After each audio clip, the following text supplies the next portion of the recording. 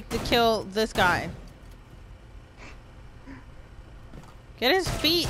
Something. Jesus.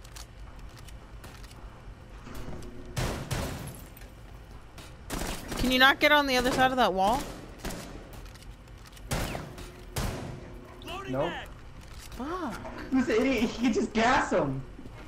What? He knew it. He knew that that enemy limit. I said this idiot. He. Can you jump on top? Get his head. Can you get get? 15 seconds.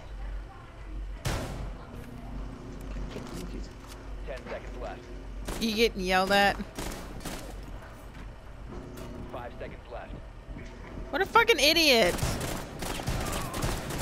Thank you. Friendly's victorious. Hostiles eliminated.